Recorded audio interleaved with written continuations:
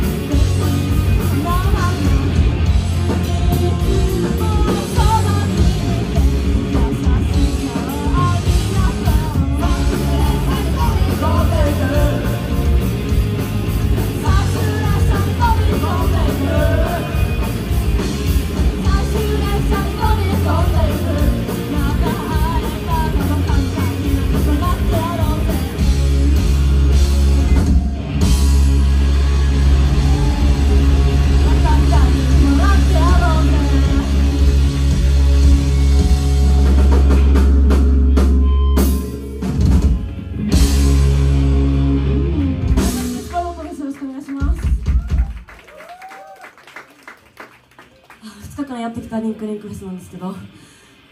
ラストを取り語らせてもらって本当にありがとうございます。個人的にはこのプチプルポットがベースの勇気と組めるラストのライブであの国家試験とか受ける関係でこれからも出れなくなるからすごい大事にしてるバンドでこうやってみんなで盛り上がってくれて本当に嬉しいなと思います。改めてありがとうございます。感謝ばっかりなんですけどこんなたくさんの人が来てくれてなんか出演者のみんなも